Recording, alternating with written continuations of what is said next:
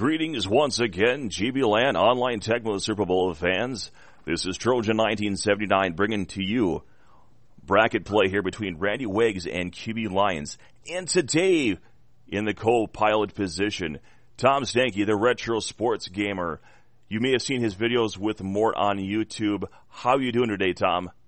I'm doing great. I'm just excited to announce and get some Tecmo action in today. And it looks like we're going to have a pretty good matchup between Randy Wags and QB Lions. All right. And, uh, so for those of you that don't know, Tom has a great lineup breakdown of every single team in Tecmo Super Bowl out there on YouTube. Many games uh, uh, are played after the teams are broken down in detail. Whether you're a veteran or a new player, it is a tremendous resource, as well as having other great retro sports content on his channel. But if you're a Tecmo Super Bowl fan, uh, his is definitely a must subscribe. You definitely want to check out his videos. Uh, for those of you who know Mort, Mort makes an appearance uh, on several of those videos as well, and they have some pretty entertaining games and back and forth commentary. Breaking down common matchups with those teams. So we're going to get right into it here. Uh, did you give us your Twitter handle? I can't remember if I uh, asked you that. If not, let's give that to the people watching. Oh yeah, my Twitter handle is at retro sports gamer. Drop the A in gamer, and there you go. That's my Twitter handle. Awesome. We'll make sure to give you a uh, link there to his YouTube channel and Twitter handle in the description, as well as the bracket for Challonge for this tournament. It is a double elimination tournament. Um, in this, uh, you will always have the higher seed hosting. Uh, that is the advantage of uh, what happened in group play. So Randy Wags had the higher seed over QB Lions here. So he picked this matchup, and QB Lions took the Jets, and we are starting this one. Yeah, this is a unique matchup. Cardinals versus Jets. Don't see it too often, but it's uh you know it's a lower mid tier matchup, and uh you know it's hard to say which team really has the advantage. Most people would say the Cardinals, but the Jets got some players too. It looks like Pat Leahy is going to be kicking off here. QB Lions deferring Vai Sikahema with his 44 running speed is going to be returning this one. Uh, is he your preferred returner when you play as the Cardinals? Yeah, I, I, you know, they really don't have an elite returner, so pretty much whoever you put back there is going to do the job. But yeah, I, I just leave him in. So looks like we have a Tom Tupa sighting here instead of uh, Rosenbach. Um, Randy Wags going right up to the top and uh, coming underneath to Randy Proehl. First down on pass. Uh, was that pass three, pass four? And I, I, didn't catch the formation there on that play. Yeah, and that's Ricky Proehl, and he has high reception ratings, and he took that one. He's a good possession receiver right in the middle of the field. And just the run up the middle there for Johnny Johnson. Second down to three coming here. McMillan on defense, uh, trying to hopefully slow down that passing attack. Comes back. Tupa gets it done on the ground underneath. We're going to see a lot of field stretching here, and I, I hope we're going to see a Johnny Johnson signing pretty soon. Yeah, what do you think the reasoning is behind putting uh, Tom Tupa instead of Rosenbach? Don't see that too often. Um, I know that there's pass speed and control difference, and it may have something to do with JJ timings. Uh, I think they have identical uh, uh, maximum speed. I, I, could be wrong there. Johnny Johnson with a nice run to the bottom down here. Uh, McMillan in chase, and Wisely gets out of bounds. Nice run there by Randy Wags. Yeah, definitely. He's taking advantage of that uh, running game right now, getting that run three in, and when you don't pick that play, it could be deadly and uh, passes underneath on pass four to Johnny Johnson, incomplete, just uh, you know uh, inches away from him. Uh, might be a little better to try to keep that on the ground uh, a little bit longer before uh, letting that ball go. And now we have minimal gain here on second down, third and seven coming up. Critical down here for Randy Wags. Want to keep the momentum going here. Dennis Byrd in defense looks like he's in coverage now. Throwing across field to Johnny Johnson. Nice Nice throw. We saw that errant throw before this time. No problem getting that across field to Johnson. First and goal from the seven. Pro set formation. McMillan on defense. And again, trying to stretch the field with that play. Throws it. Let's see if this, if he gets it there. Dangerous across the line of scrimmage with the, with the Tom Tupa. The quarterbacks in this category, uh, this tier of the game, if they throw an errant throw, could be picked off tough to rely on that throw. And now we have a dive play uh, to Johnny Johnson, run two. Not much going here. Four yards Critical away from third down. Back to the dive play. Johnson bounces it outside into the end zone. 39. Johnny Johnson in the end zone for a touchdown. And those plays up the middle sometimes are tough. He baited McMillan in the middle. He locked horns with someone, uh, blocking him and he just wasn't able to get bounce out of that. And the result is a touchdown. And a lot of folks don't know you have Luis Sharpe up top there who uh, was featured on Good Players Bad Team with the Keith is Good article on tecmobowl.org. Uh, so definitely going to hold his block uh, all day long at the top of the screen. And Baxter on the return. And let's look at the playbook here. We have a mix of pro set. Uh, kind of a strange uh, choice at pass four there. I don't see that often. Uh, that, that's actually in the default San Francisco playbook. And O'Brien scrambles to the right side for a nice little gain.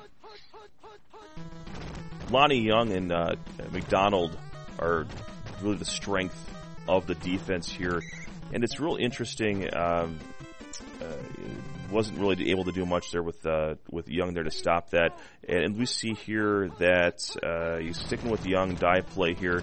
To Blair Thomas does a nice job this time, uh, fills in, and it, it did it look like that lead blocker got instantly pancaked? Yeah, well, what I was gonna say is Lonnie Young might be the best defender against the run just because his run speed's at that 69. That obviously isn't something that they were trying to program, but he does have that advantage. So he, at the snap of the ball, he's super quick. And the other part of that too is I don't remember what his hitting power has been, but if he's got a wide receiver at the uh, lead blocker position, that could potentially be a, a 50 hitting power disparity, which would lead to an instant popcorn or pancake. That's and right. We have got fourth down and 12 here, punt probably incoming. Um, I, I I would really advise against this if I can go back in time and tell him. And looks like uh, like the punt is what's happening here. Yeah, fourth and twelve. I, I you know, I probably would have punted in that situation to be honest. Um, you know, we, we have to see what, what he can do on offense with the Cardinals. Randy Wags had a nice, slow, methodical drive up the field. So let's see if he could do it again. I'd like to go in, into the change screen and see what he's working with there. Looks like we have a cold run three now. That was dangerous. Almost a safety right there. Got to be careful calling run on your own end. You need that breathing room. You've got uh, second and 15 from the one yard line here. McMillan has a lot of field to cover here. Tupa getting it away just in time. away. Throws it out of bounds uh, outside the pocket. If it if it was uh, intentional grounding, that's not a part of Tecmo Super Bowl, folks. We have single back formation, third and fifteen. McMillan. Uh, it looks like we have a pass four here. Gets it Ooh, underneath, nice, gets some breathing room, fumbled and recovered by the Jets. James Hasty looked like he was bouncing out of bounds there, but uh, not as far as Tecmo is concerned. Right back in the hands of the Jets, and now QB Lions knocking on the door. See, that's why you punt the ball there. If you're confident in your defense, anything can happen, and he's rewarded. It, and uh, potential missed opportunity there. It looked like the wide receiver two had the defender uh, beat there with that pass three. That burn route was probably there at the back of the end zone, and uh, Lex to hang on to the ball third and six here after a pedestrian gain on second down. Blair Thomas now. It looks And- like. Go ahead. I was going to say their taps are about the same right now. It looks like. Yep, just a couple yard gain there. It'll be interesting to see what he does on this play. It's going to be fourth down here. Is he going to take the points or is he going to go for it? not having a rushing stud uh, against Lonnie Young, and not having established taps advantage, puts you in a tough spot here. Um, you almost have to pass and try to get those isolation routes. Uh, might have gotten a touchdown if you let that go immediately. And it looks like he's open, but does get covered at the last moment there. Going up to wide receiver one, it's probably Toon and turns it over on down. So we're back right where we were just a moment ago. Pretty uh, much, yeah.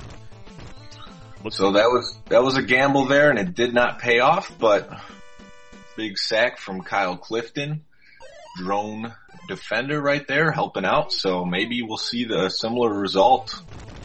And we're here now at the run three here. Johnny Johnson uh, bottled up four yard gain on second down. Uh, four yards against run three is always a successful outcome if you're the defense. It looks like we're almost, oh, and it's a blitz and looks like he's going to have to punt it away here, fourth down and 13. So basically what you're going to want to do here, QB Lions is going to want to get out of bounds and try to throw a Hail Mary down the field before the end of the half. And he has plenty of time to do so, I believe. And what Randy Wags was trying to do there was get a fast receiver down the field with pass one, and there's two streaking receivers on opposite ends, opposite ends of the field, and he called run, or sorry, pass one, and that's what resulted in that. So, time to enjoy halftime. Uh, game is close so far. Uh, Randy Wags being a little more effective offensively. QB Lions having that deep possession and unable to come away with any points there uh, is going to have to find a way to get something going here. I think we need to find out who has the tap advantage here. Is find out if he can really run the ball uh, against Lonnie Young because if he can't, he's going to have to go into that pass playbook. Yeah, it's tough with those two safeties there and only a 44 speed, max speed running back for the Jets. It's gonna be tough to get the run game going against the Cardinals, and uh, you know that that's what the game may rely upon. But he does have that advantage of Ken O'Brien and his passing speed, so I'd like to see him take advantage of that. So one thing I am no- I am noticing here is that we do have the two running backs in, and I, I can't remember exactly what their uh, hitting power is offhand. It went through the cycle too fast, but uh, I don't think they're particularly high on the Jets. And we have a JJ to Toon, and uh, that's what I was looking for.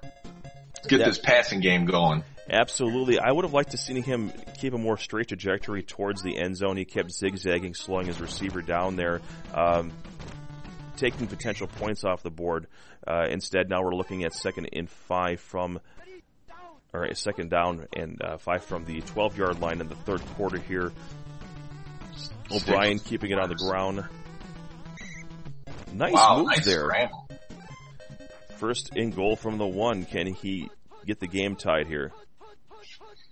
It's looking good right now for QB Lions, and he runs in easily there. No defender in sight. Touchdown, Johnny Hector. Harvey was the chosen defender. They ran right at him. He got double teamed and knocked backwards. So seven seven game here. And by the way, you're doing a great job. It's fun having you on here, Tom. Oh yeah, thanks a lot, Troy. This is this is cool. I like uh, doing this sort of thing, and you know, when it comes to Tecmo Super Bowl, I'm always down for whatever.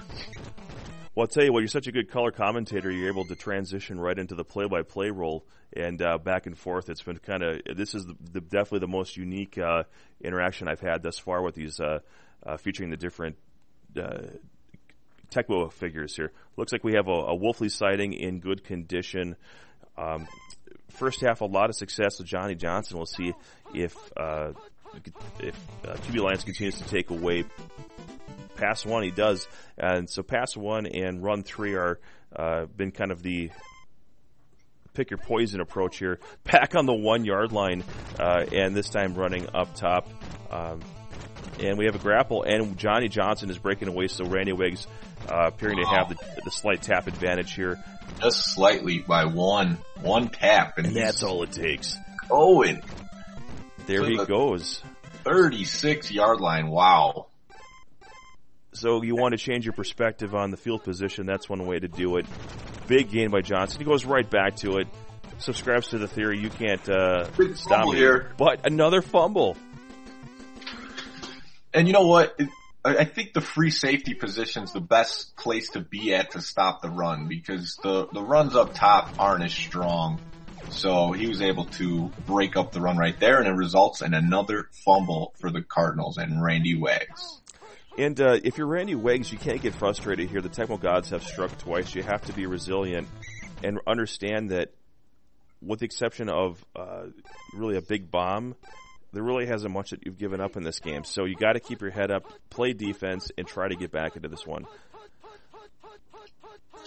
And let's let's see if he goes back to the passing game. That's where he's been successful so far.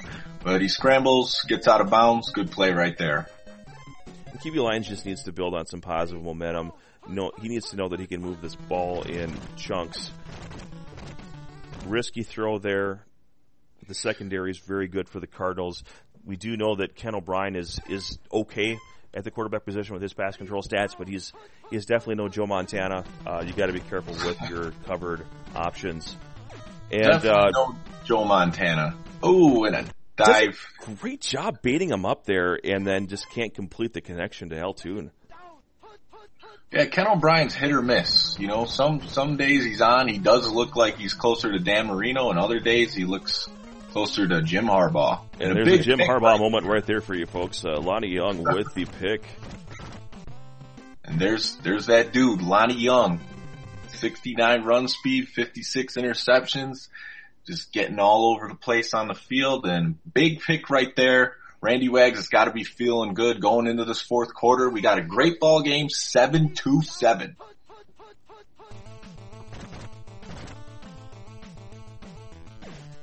Crossfield to Wolfley here on pass four. I'm sorry, was that pass two? My apologies, pass two on that play. And he looks like he's sticking with McMillan. We haven't seen too much Kyle Clifton or Dennis Byrd user controlled. Nice dive tackle uh, there. Yep seven seven. You can't really uh, go wrong with it, and so we'll see if he takes advantage of that. Wide receiver two is streaking down the field. He elects to hang on to it. Tom Tupa with the big scramble. Let's see if he checks his conditions. Maybe goes a Rosenbach, but it looks like he's sticking with Tupa this whole game. Well, he did go through the conditions and uh, left kind of what who's got in there. And now we've got Crossfield Roy Green, now milking clock. Very intelligent use there by Randy Wags. Roy Green getting it done. 13-7. Everybody was open there. You know, on that play, you just want to get back and guard the touchdown. You had two streaks that were wide open. So you just kind of got to give up the, the shorter pass on that one. So, um, fortunately for him, there's tons of time left for QB Lions and the Jets. So Let's see if he can march down the field and score a TD. We saw some success there with getting separation with the receivers. Ken O'Brien has kind of a weird combination of control and passing speed. I think he's the only one that has the combination of stats.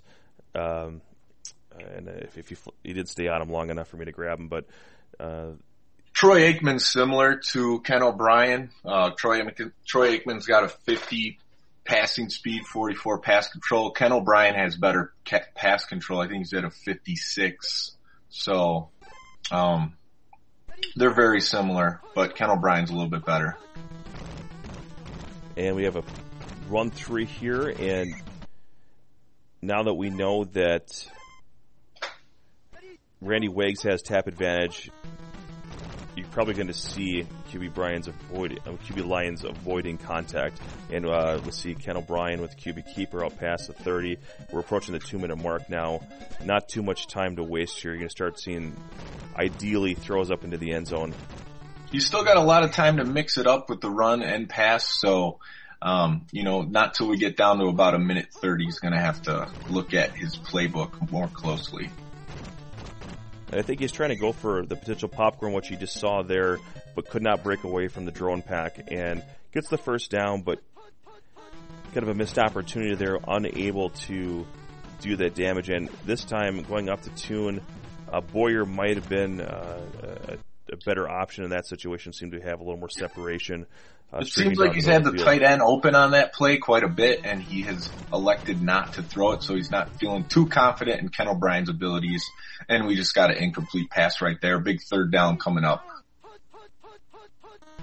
We're starting to get to the area of the field when you get past the 50. It's harder and harder to get your receivers in a position.